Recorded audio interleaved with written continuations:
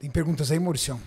E as meninas da Wellness? Eu vi o Gorgo falando que talvez possa acabar a categoria devido à grande quantidade de brasileira no top 5. Não, na verdade, não é- eu não sei se acabar a categoria, mas assim, de verdade, os dirigentes, a grande direção, tô falando aqui sem, sem pauta, tá? Não, não, não recebi isso de ninguém, recebi ali nas conversinhas, sabe? Eles estão desanimados com a categoria Wellness por um motivo. A categoria, we- assim, um campeonato, assim, tá? Pessoal, a- a- aprendam, tá? Antes de hatear, aprendam uma categoria, para ela ter um, um alcance mundial, para a galera abraçar, ela tem que ter miscigenação. O que é miscigenação? Tem que ter representante da, da Europa, tem que ter representante dos Estados Unidos, principalmente dos Estados Unidos, que é onde movimenta o mercado. Tem que ter representante do Oriente Médio. Por exemplo, Open. Você tem o Hadi Chopin, um persa sendo Mr. Olímpia. Aí o segundo colocado é um americano, que é o Derek Lansford. Aí o terceiro colocado, quem é, Maurício? O Nick. O Nick Walker, americano raiz.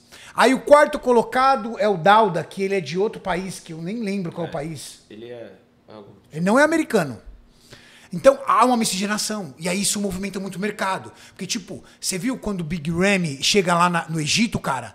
Cara, para o país inteiro. E aí a galera, aquela coisa. Aí você tem Chris Bumstead. Rapidinho, ele é da Nigéria, ele é nigeriano, só que ele mora no- na Inglaterra. Na Inglaterra, isso. Aí, aí você vê, por exemplo, Chris Bumstead, um canadense. Ramon Dino, Brasil. Aí, de repente, aí você tem o Urs alemão.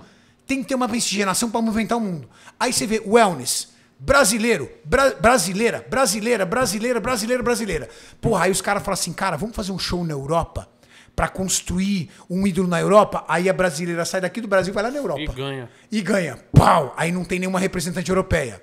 Aí faz mais um show na Europa. A brasileira vai lá e ganha de novo. Aí vai mais um show na Europa, vai lá e ganha. Aí vai fazer um show no Dubai, a brasileira ganha. Aí vai lá nos Estados Unidos. Cara, um monte de brasileira se, se classificou nos Estados Unidos. Aí quando você chega lá no line-up, vamos lá, top 20. Tudo brasileira, velho. A Júlia do Giga foi, pai? Ela não classificou esse ano aqui. Ela, tá, pra acho que ela nem competiu. Acho que ela nem competiu. Ela competiu acho que uma vez. É, eu tava vendo acho que ela competiu em deles, né? Ohio, não competiu em Ohio, não lembro de cabeça. Acho que ela competiu em Competiu Ohio, em Ohio. só que ela não foi bem, aí ela Aí tirou ela- o ano ela- de off. Ela, ela, ela priorizou o físico pra trazer um offzão. Loira do Sul tá aí, hein? Bem pra caramba. Então o que acontece? Aí só brasileiro é brasileiro. Aí o que acontece? Os outros países perdem interesse. Então o que, que eu acho? A minha, minha, minha visão do- das conversas que eu acho. Que os dirigentes estão desanimando com a categoria. Falam assim, cara, a gente criou uma categoria de brasileiros. Ah, é top pro brasileiro? Pô, é top pra caramba, velho. Pô, pra nós é top pra caramba. Mas o esporte não vive do Brasil, o esporte vive do mundo.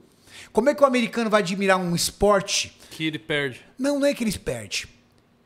Essa frase é uma premissa que envolve qualquer esporte. Esporte vive de ídolo. Qual foi a época áurea da Fórmula 1 no Brasil? Cena. Cena. Porque tínhamos um ídolo. Tem algum ídolo hoje na Fórmula 1 brasileira? Acho que não tem nem brasileiro correndo. Não. A galera não. Só quem ama muito automobilismo para acompanhar, ninguém tá mais acompanhando Fórmula 1. Então, se não tiver um ídolo da wellness americano, cara não se interessa. Se não tiver um ídolo da Europa, o cara não se interessa. Só tem brasileiro, os caras falam assim, puta, velho. Categoria de brasileiro. Entende? Então, para o esporte seria sadio. Qual seria uma solução? Uma solução era ter campeonatos nos Estados Unidos para que as americanas olhassem aquilo com bons olhos e falassem, cara, não vou ser mais uma biquíni, vou fazer um off-season e virar uma wellness. Cara, não vou ser mais uma woman's physique, vou fazer uma mudança no meu físico e wellness. Só que essas atletas só farão isso se elas tiverem inspirações do país dela na, na categoria já. Pô, tem essa atleta, cara, quero ser ela. Quantas atletas não viraram pró se inspirando na Angela Borges. Cara, minha referência é a Angela, Angela, Angela, Angela. Quantas atletas hoje não viraram pró se inspirando na Fran? Cara, a Fran, a Fran, a Fran. Isa também, na- na Isa. Isa, Isa.